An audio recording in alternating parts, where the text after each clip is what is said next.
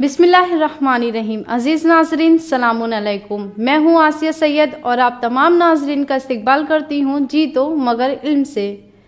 नाजरीन, आज के एपिसोड में हम फिर से पूछेंगे पाँच बिल्कुल ही आसान सवाल। अगर आपने इनाम नहीं जीता है तो आपको एक बार फिर से मौका मिलता है इनाम जीतने का। नाजरीन, इल्म के सफ़र को शुरू करते हैं और आइए देखते हैं पिछले हफ़्ते पूछे गए पाँच सवालों के सही जवाब क्या हैं। ये हैं पिछले हफ़्ते पूछे गए पाँच सवालों के सही जवाब आपके टीवी स्क्रीन पर। नाजरीन, ये है पिछले हफ़्ते के सवालों के सही जवाब। पहला सवाल था, फातिमा मेरे जिगर का टुकड़ा है और मेरी रूह का जुज है। जिसने इसे अजियत दी, उसने मुझको अजियत दी, और जिसने मुझे अजियत दी, उसने खुदा को अजियत दी। ये किस मासूम ने इर्शाद फरमाया? इसका सही जवाब है रसूल अकरम सल्लल्लाहु अलैहि वसल्लम। दूसरा सवाल था, ए रसूल, कह दीजिए कि तुम अपने बेटों को लाओ, हम अपने बेटों को लाएँ। तुम अपनी औरतों को लाओ, हम अपनी औरतों को लाएँ।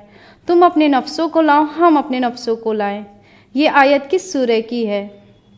इसका सही जवाब है सूर्य आल इमरान, आयत नंबर इकसठ।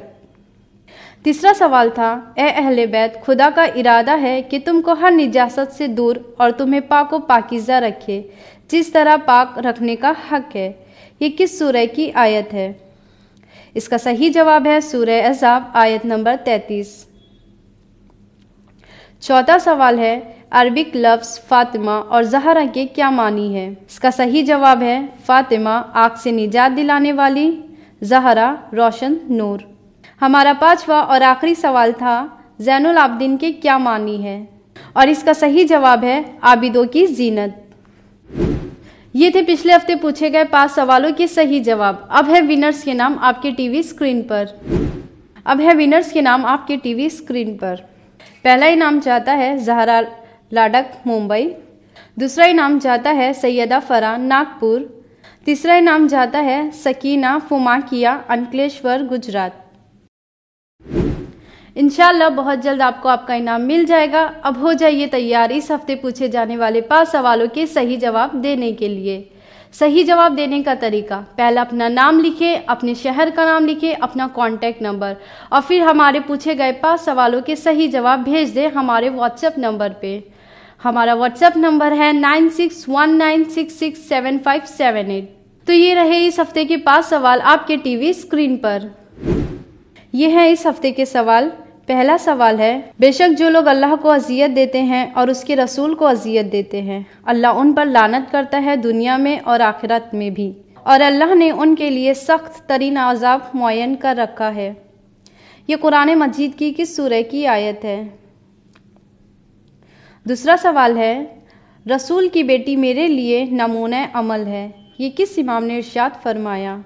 आपके ऑप्शंस हैं ए इमाम हसन अस्करी अलैहिस्सलाम ऑप्शन बी इमाम महदी सलाम। तीसरा सवाल है, हम अल्लाह की तरफ़ से अल्लाह की मखलूक़ात पर हुज्जत हैं और हमारी दादी फ़ातिमा जहरा हम लोगों पर हुज्जत है। ये हदीस किस इमाम ने इर्शाद फरमाई? आपके ऑप्शन है ए इमाम सादिक सलाम ऑप्शन बी, इमाम हसन अस्करी सलाम।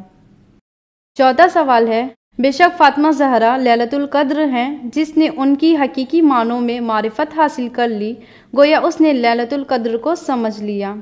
ये किस इमाम ने बयान फरमाया?